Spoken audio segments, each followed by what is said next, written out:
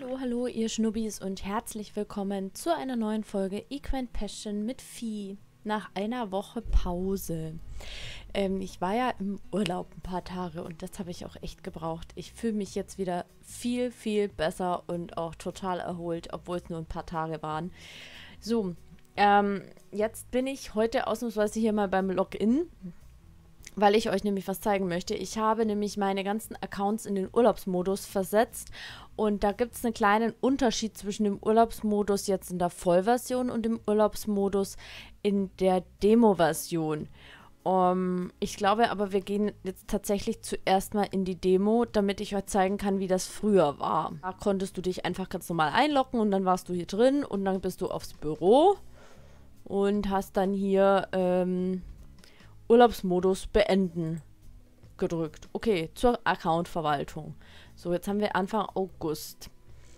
Ähm, Systemnachricht. Ähm, oi, Oreo Cookie ist gestorben. Krass. Okay. Wow. Ähm, naja, gut. Ich habe ja im Endeffekt auch nicht drauf aufpassen können jetzt eine ganze Woche. Und warum wurde Adams Gangster vom Tierschutzverein auf abgeholt? Ich habe dort die doch alle in Vollpension gestellt. Und ich habe Urlaubsmodus eingestellt. Ausgerechnet der Gangster, mit dem ich mit Bau züchten wollte. Das ist jetzt doof. Vielleicht sollten wir dann einfach mal ähm, gucken, aber das hat uns jetzt mit Sicherheit wieder auch ähm, ne, ne Halteansehen gekostet. Ja. Okay, wir sind aber trotzdem noch gut. Ähm, Zucht. Nein, Pferdemarkt, Tierschutzverein. Ähm, hm, hm, hm, wir brauchen ein deutsches Reitpony. Deutsches Reitpony. In Dressur. War das einer mit Dressur? Nee. Dann machen wir mal Springen. Oh, Springen sind aber viele drin. Da sollte ich dann vielleicht doch Moonlights Classic. Aber wenn der jetzt beim TSV ist, dann ist er eh kein Hengst mehr. Da, Adams Gangster ist jetzt ein Wallach. Scheiße. Scheiße allerdings. Wirklich scheiße. Ähm, das muss ich jetzt schon mal so sagen. Fuck.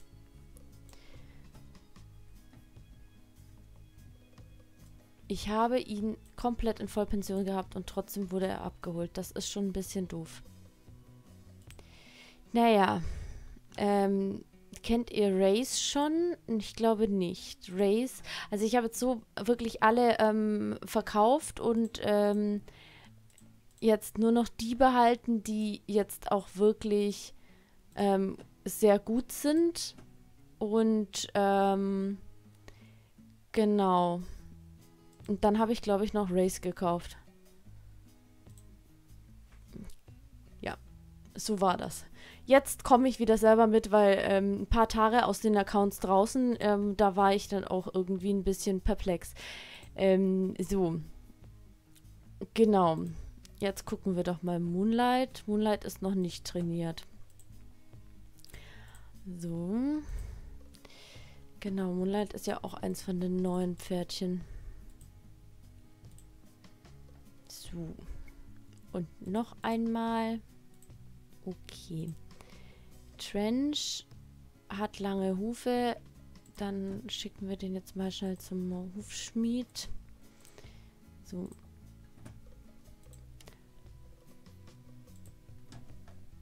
Die ist auch schon fertig. Genau, bei Race waren wir ja gerade. Die habe ich noch gekauft. Ähm, die Jo, Jo, Jo, Jo, Yutu. Die, ist, die hat einen ganz komischen Namen. Aber ich suche die ja auch nicht nach dem Namen aus. So. Sollte ich zumindest eigentlich nicht. Aber manchmal ähm, haben die schon komische Namen. Ich weiß auch nicht. So, und dann noch baut, genau. Okay. Dann gehen wir noch ein bisschen arbeiten. Okay, perfekt. Dann sind wir hier durch. Calvados ist eins meiner Reitbeteiligungspferdchen. Genau, also dann zeige ich euch jetzt, wie das bei der Vollversion ist. Da hat sich nämlich jetzt was geändert. Zurück hier zum Login bei den Chatties. Aber wenn wir jetzt hier reingeht, ähm, du kannst den Urlaubsmodus erst in einem Tag beenden. Zurück. Warum kann ich den denn in, erst in einem Tag beenden? Zur Erklärung. Es ist jetzt ein Tag später. Es ist jetzt Montag. Ähm, jetzt bin ich wieder hier im Login und jetzt heißt das hier, der Account befindet sich im Urlaubsmodus. Urlaubsmodus deaktivieren. Du hast den Urlaubsmodus beendet. Willkommen zurück. Juhu. Oh, sechs neue Nachrichten. Ähm, Systemnachrichten. Ach, ich habe einen freien Platz. Okay, ja, das ist ja nicht so schlimm. Das ist ja tatsächlich nicht so schlimm. Okay.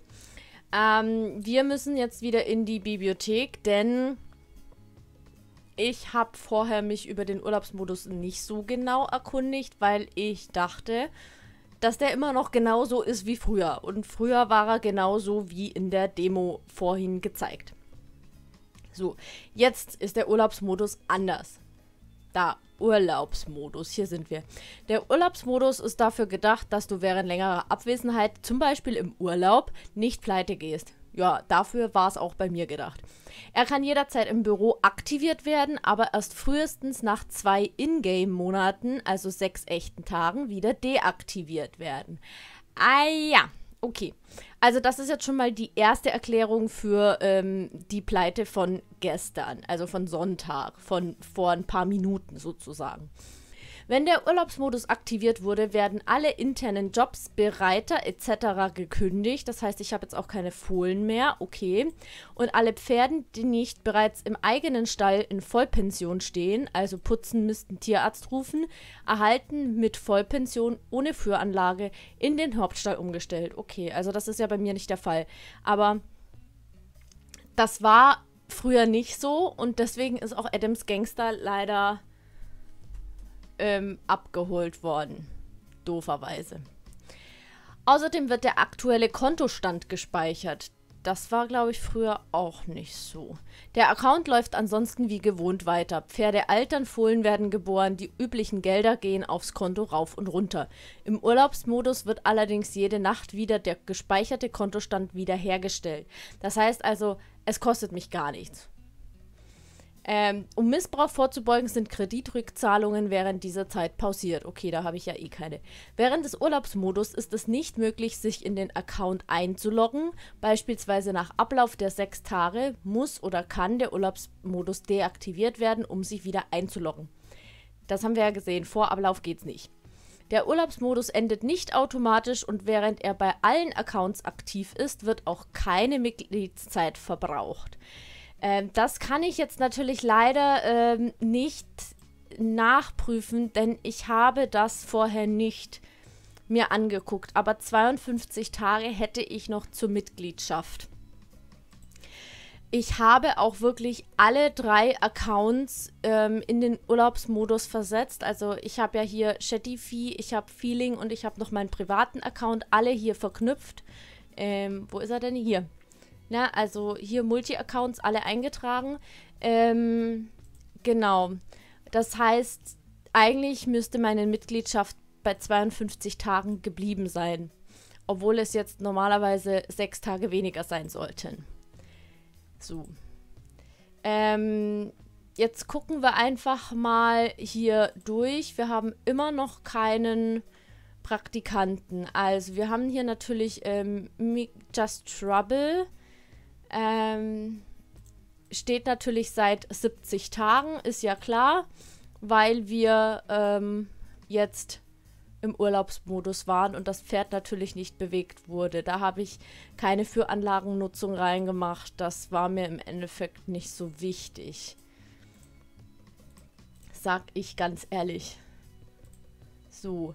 Ähm, genau, also im Endeffekt, das sieht man natürlich schon daran, dass es, dass dann wahrscheinlich auch die Kondition gesunken ist, gehe ich mal davon aus.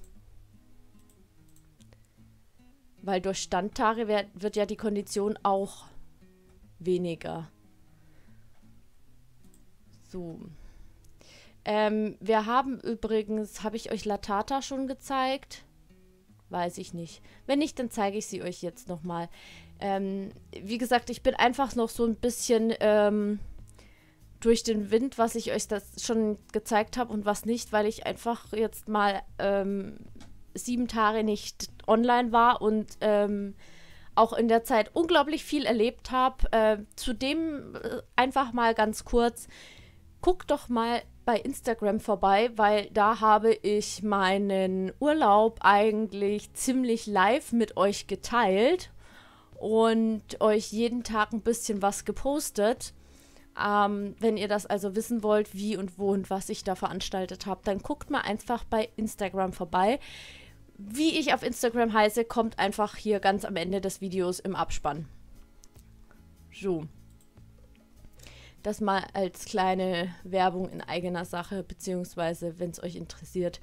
Ich habe ja gesagt, ich werde versuchen, so ähm, aktiv wie möglich zu sein. Und Instagram lässt sich tatsächlich in meinen Alltag relativ gut kombinieren, muss ich schon sagen, bin ich sehr überrascht. So, ähm, die waren ja alle tatsächlich in der Führanlage gestanden, bei denen ist es jetzt mit der Kondition nicht sichtbar. So. Bei denen auch nicht, das ist ja ein Schulpferd, da ist es ja prinzipiell ziemlich egal.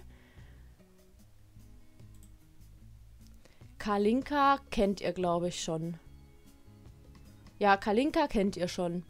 Die haben wir ja ausgesucht. Äh, warum ich, jetzt bin ich von Latata weggekommen. Gleich gehe ich nochmal zurück zu ihr. Ähm, so. Genau, Latata.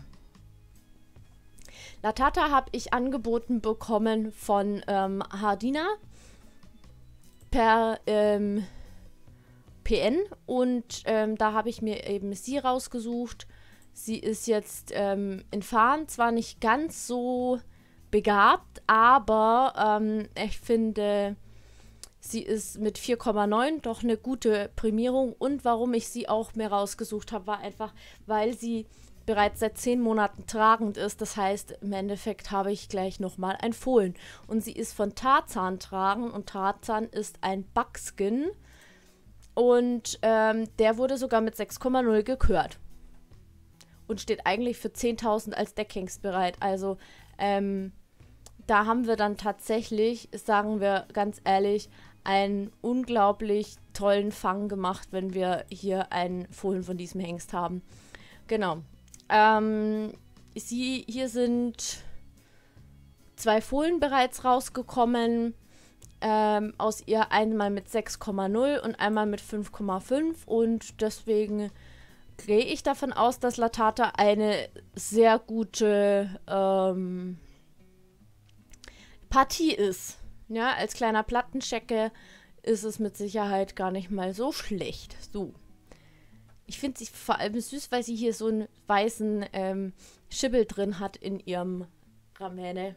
Die finde ich echt goldig. Okay, dann äh, müssen wir jetzt natürlich äh, mal schauen. Unsere Auftragsfolien sind ja alle weg.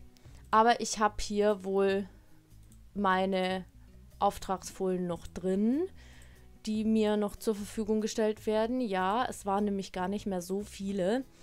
Ähm, das ist schön, dass ich die noch habe und dass die auch noch bleiben. Wir werden das gleich auch noch mal beim Hauptaccount überprüfen weil ich die natürlich eigentlich nicht verlieren wollte. So. Okay. Gut, dann habe ich jetzt eigentlich für heute soweit ähm, Reitbeteiligungen.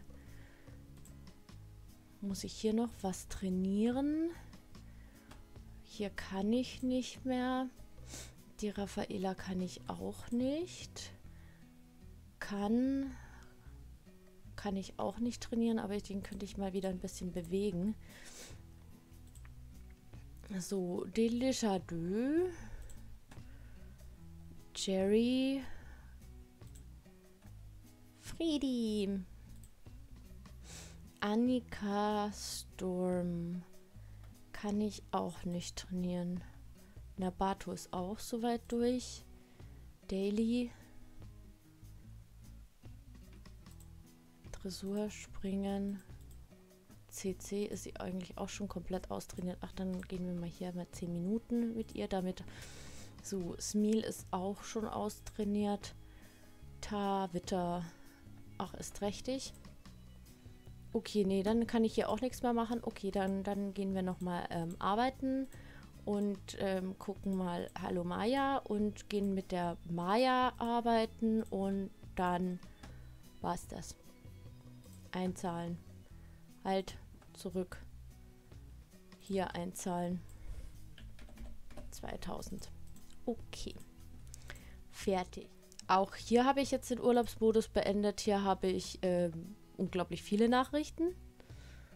Äh, freie Plätze, äh, Erziehungsauftrag wurde beendet, ja gut. Aurelie und Granada waren bei der äh, Prämierung und Pony Love hat eine neue Bewerbung erhalten. Okay, dann gehen wir doch erstmal zu Granada. Granada ähm, wurde mit 6,0 prämiert und hat ein Interieur von 7,0. Das finde ich ja schon mal sehr ansprechend. So. Dann werden wir jetzt hier mal das neue eintragen. Text ändern. Dann können wir eigentlich für Granada schon mal auf die Suche dann bald gehen von einem Hengst. Das machen wir dann mal in der nächsten Zeit, weil jetzt haben wir schon Mitte Dezember, dann ja, habe ich noch ein paar Tage Zeit, aber im Endeffekt äh, sollte ich vielleicht schon frühzeitig mal auf die Suche nach einem Hengst gehen. So, Aurelie wurde mit äh, 5,4 prämiert, weil sie einfach kein so besonders großes Exterieur hat. Aber das Interieur ist super. Also das finde ich schon sehr gut. Ähm, so. Ein, ausnahmsweise mal jemand, der im Interieur besser ist als im Exterieur. Das habe ich auch selten. So. Und auch hier bei ihr werden wir auf die Suche nach einem Hengst gehen und da vielleicht mal auf der, die Suche nach einem Hengst, der ein gutes Exterieur hat.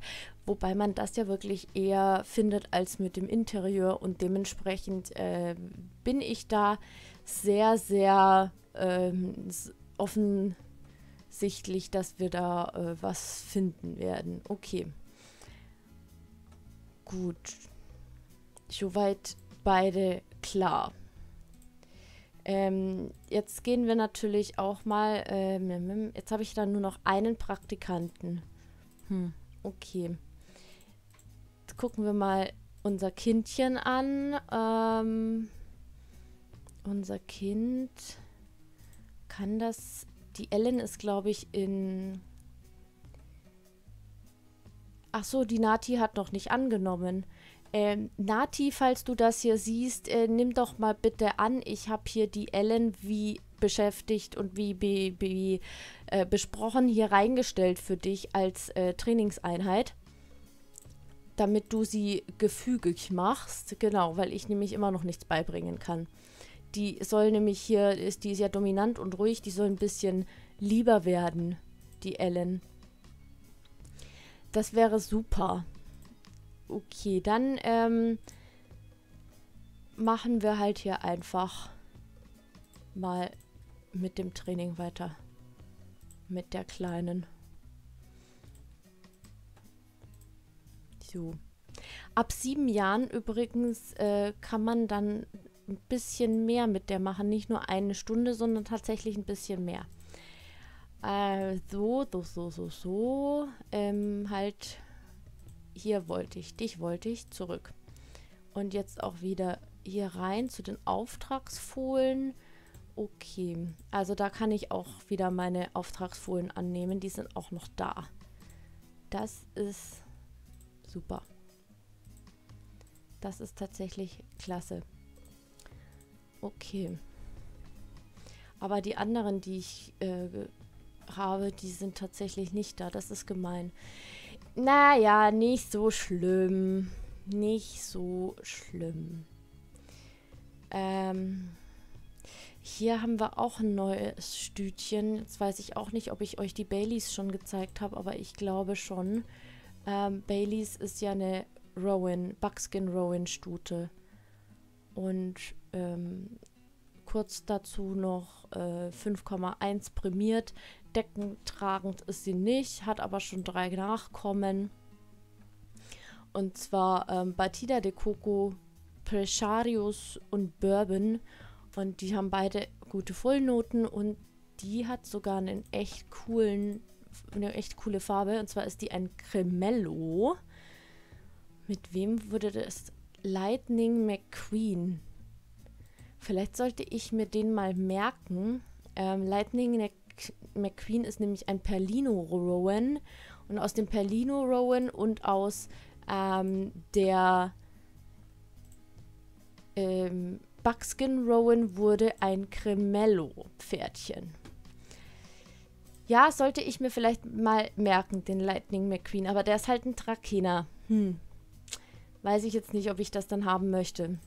So. Dann haben wir noch äh, ja, einen braunen und hier, was haben wir hier? Hier haben wir ein Palomino. Also ähm, auch nicht schlecht. Von Liro ist ein deutsches Pferd. Liro, Liro ist ein, oh, ein sehr, sehr dunkler Fuchs. Ui, schön. Wunder, wunderschön. Wirklich. So einen Fuchs hätte ich auch gerne. Tatsächlich. Ja. So. Das mal noch zu ihr. Wie gesagt, ich weiß jetzt nicht, ob ich sie euch schon gezeigt habe oder nicht. Ähm, dann machen wir jetzt mal die Auftragsfohlen und ähm, kümmern uns dann nochmal um die Pferdchen.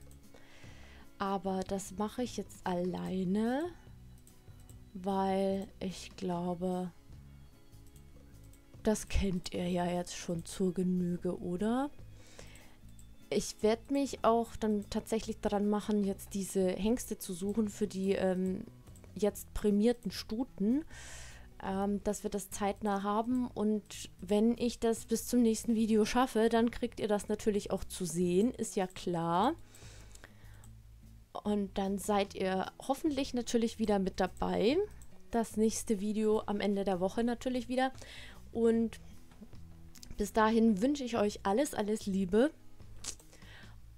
Ich wünsche mir natürlich, dass ihr wieder einschaltet. Ich würde mich total über ein Däumchen freuen. Ich würde mich natürlich auch total über ein Abo freuen, wenn ihr mein Gequatsche noch länger ertragen könnt. Und wir sehen uns beim nächsten Mal. Instagram folgen nicht vergessen.